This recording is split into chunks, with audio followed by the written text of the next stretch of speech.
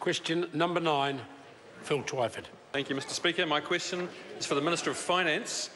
Does he stand by his statement about whether inequality was a problem in the Auckland housing market? I quote, We've been concerned about that for some time, that there's part of Auckland where there's been really no new supply of lower value houses that low and middle income families can afford.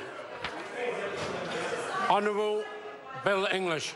Uh, Mr Speaker, yes, and it's time, that, it's time that the member agreed with us. As I've said for some time, council planning rules increase inequality because of land use rules that limit heights, prevent subdivisions, increase land costs and impose delays on the provision of new housing. And of course, the lower the value of that housing, the more impact it has. And as the Productivity Commission recently pointed out, it is affordable housing that is most affected by these rules. That is why the government is working with the councils, who are the deciders and regulators with respect to housing supply, to cut red tape, free up land and infrastructure constraints, and get more houses built. Supplementary.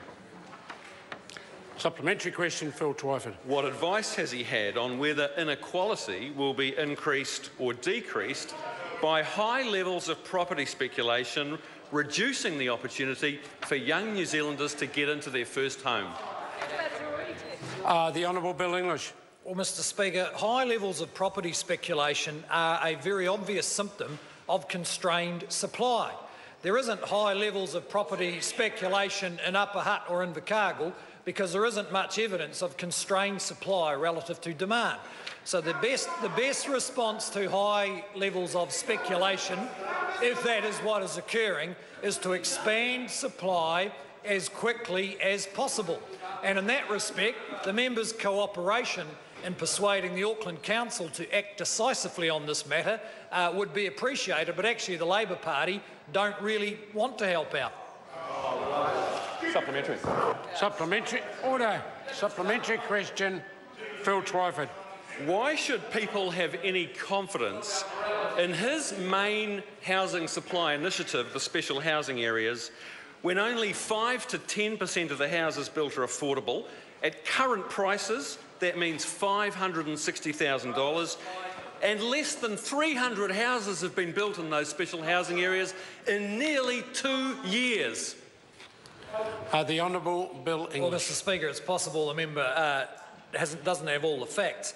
But in any case, the special housing areas, eh, the special housing areas uh, were a response to the fact that the core Auckland planning process simply couldn't deliver any new supply of any scale because it was designed to stop new supply with the support of that member and the councillors from his party on that council who have spent the last 15 years making sure Auckland didn't grow that's why we had to have special housing areas. They're not perfect, but they're a lot better than what was there.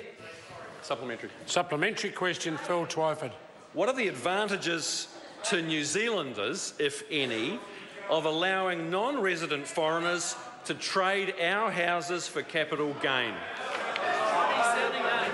The Honourable Bill English. Well, I don't, I don't, know why the member is so scared of repeating his definition of non-resident traders in houses. Last week he was very clear who they were.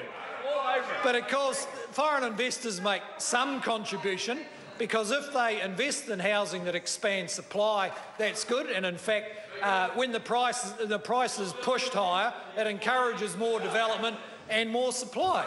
Uh, however, we're getting on with building houses. We're not sitting there going through the phone book trying to decide which migrants, which migrants should remain homeless. Supplementary. Order. Order. Order. Supplementary question, Phil Twyford. Why is his government willing to implement anti-money laundering rules at the request of the President of China but unwilling to restrict non-resident foreign buyers as the majority of New Zealanders want. The, the Honourable Speaker, Bill uh, English. the anti-money money laundering rules are not being made at the request of the President of China. In fact, it's been a global effort to slow down the flows of dirty and corrupt money around the world. And the anti-money laund- anti-money laundering rules were put in place some years ago. We're simply, in fact, probably by the previous government, we're simply requiring any uh, foreign buyer to open a bank account so they have to go through those thorough processes of identification. That may stop some foreigners buying houses in New Zealand. Order. Question number 10, Jono Naylor.